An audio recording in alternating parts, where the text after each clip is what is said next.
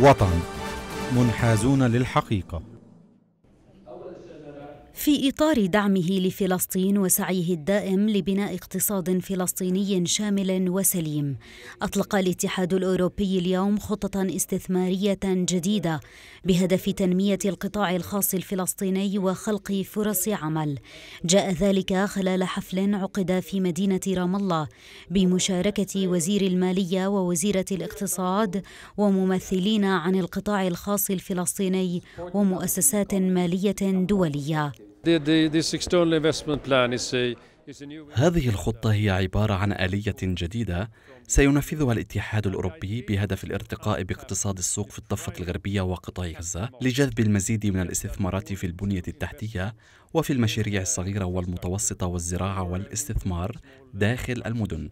ولدينا توقعات كبيرة بأن الخطة ستوفر الإمكانية لتوسيع الاستثمار في الضفة والقطاع.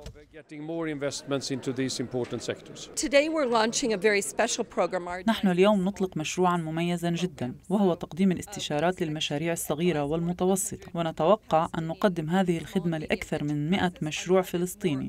نحن نؤمن أن المشاريع الصغيرة والمتوسطة هي المحرك الرئيس للتطوير الاقتصادي. لذا نرى أن مشروعنا هذا مهم جدا.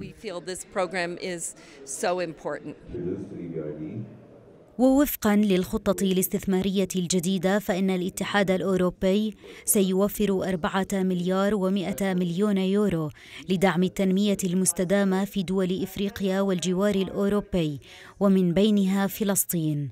كما سيوفر المساعدة التقنية والفنية لشركات القطاع الخاص من أجل تحسين جودة مشاريعها.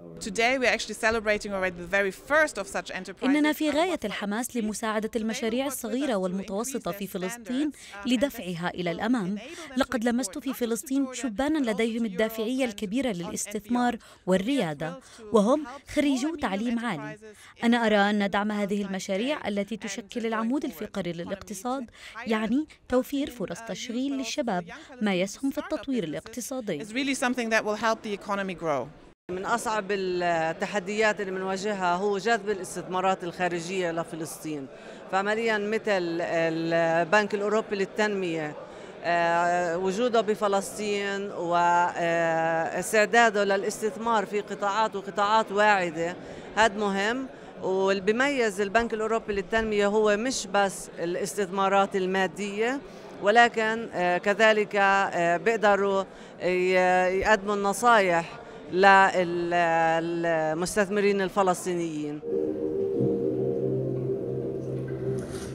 الخطة التي أطلق عليها الاتحاد الأوروبي اسم جونكر كانت قد قدمت سابقا أكثر من 240 مليار يورو من الاستثمار في أكثر من 30 دولة مجاورة وصديقة للأوروبيين. حلويات زلطيم الفلسطينية في الأردن كانت إحدى المستفيدين من الدعم الأوروبي الذي ساهم في تحويلها من مشروع عائلي إلى شركة تضم عشرات الفروع في مختلف أنحاء الوطن العربي. لقينا إنه لازم آه، يكون في آه، مؤسسه الشركة. ومين اللي بده يساعدنا بهالشيء هذا؟ بدنا شخص أو طرف اللي إحنا بنعرف إنه يكون يعني بنقدر نقول إنه طرف يكون نوعا ما حيادي. توجهنا للبنك الأوروبي. والبنك الأوروبي يسر خلينا نقول ساعدنا على إدراك إيش حاجاتنا نحن. عشان ننتقل من المرحلة اللي إحنا كنا فيها لنحول الشركة لمؤسسة ووفقا لهذه الخطة فإنه من المتوقع جمع حوالي 44 مليار يورو للاستثمار الخارجي في الفترة ما بين 2017 وحتى 2020 لكل من دول إفريقيا والجوار الأوروبي والتي ستساهم بدورها في تشجيع الاستثمار في هذه البلدان. من مدينة رام الله وفاء عاروري. تلفزيون وطن